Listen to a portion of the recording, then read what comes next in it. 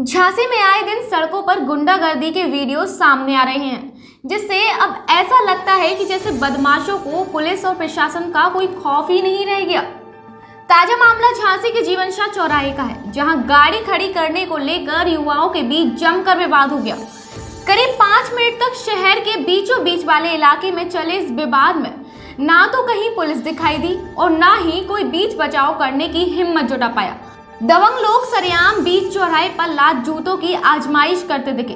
बताया यह भी जा रहा है कि मारपीट करते वक्त आरोपी युवक यह ज़रूर कह रहा था कि तू मुझे जानता नहीं। यह कहकर खुद को रसूखदार बताते हुए सरेआम बीच चौराहे पर हंगामा चलता रहा।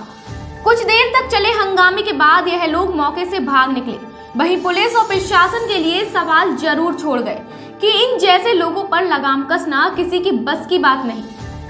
इस खबर पर अधिक जानकारी के साथ हमारे संवाददाता राम नरेश शर्मा फ़ोन लाइन पर जुड़ चुके हैं। जी राम नरेश जी कितनी देर पहले की है ये घटना?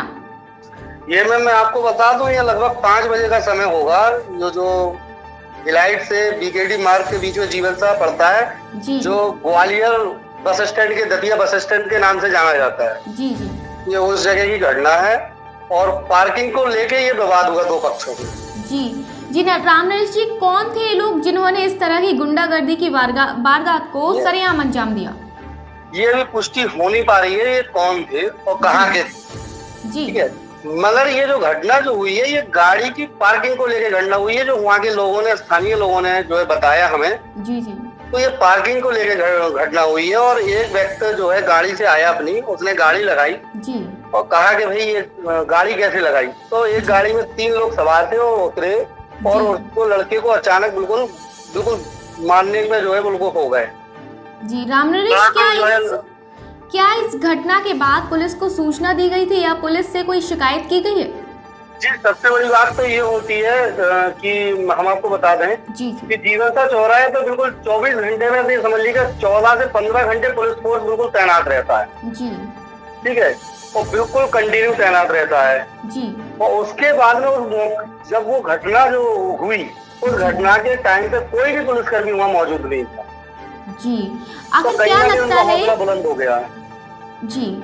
आखिर क्या लगता है कि आज के दबंगों को पुलिस का कोई डर नहीं है जो इस तरह से बीच सड़क पर हंगामा करते दिख रहे हैं?